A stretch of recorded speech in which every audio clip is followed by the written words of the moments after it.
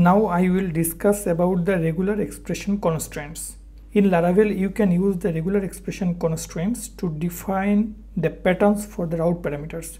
These constraints allow you to specify the format that a parameter should match, providing the additional validation and control over the route matching process. How it will work, I am going to show you. So you will be understood very easily. So let's start. For example, when we write any route, for example, here I am going to write a route that is about route and here the view is about okay? So this is a normal route in laravel.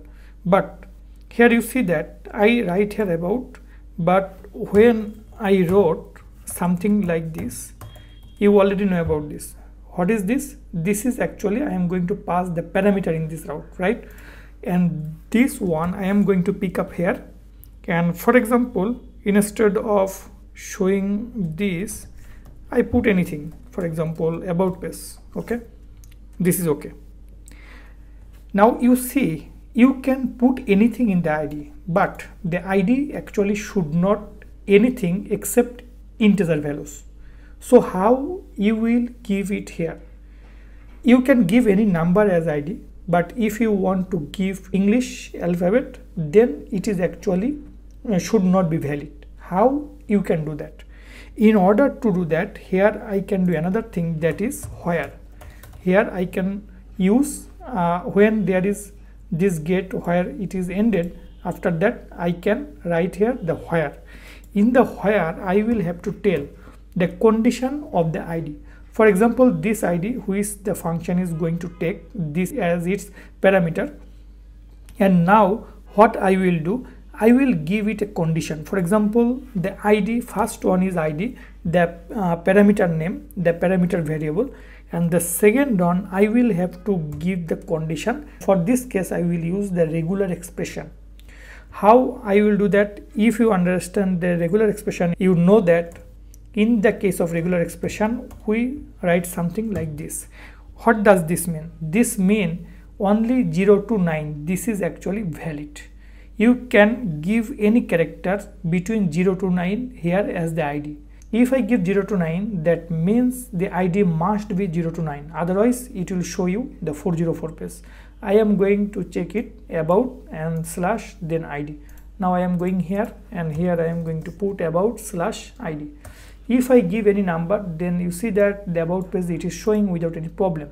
But if i give here something like this you see that this is 404 not found. If I give here like this of course this is not found. Also if I mix alphabet and digit like this it is also invalid.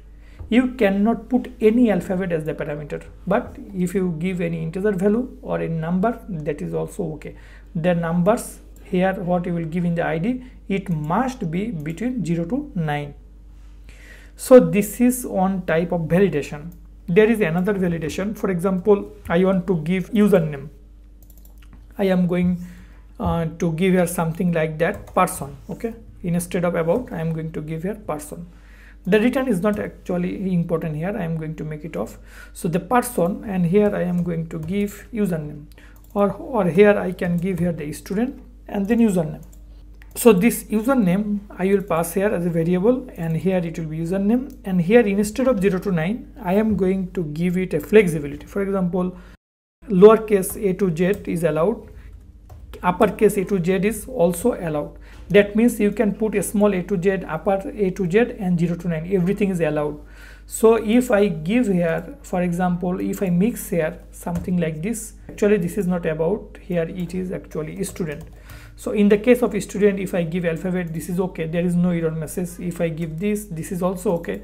If i mix these two this is also okay. But if i want that the username will not be 0 to 9 it will be only alphabet then see that if i give alphabet then it is okay. If i give uppercase alphabet that is also okay. But if i give any number it is error 404 not found. Also if I want to mix it you will see that the error also is showing here. That means only the alphabet are allowed here. So in this case you can use the regular expression constraints in the case of route in Laravel.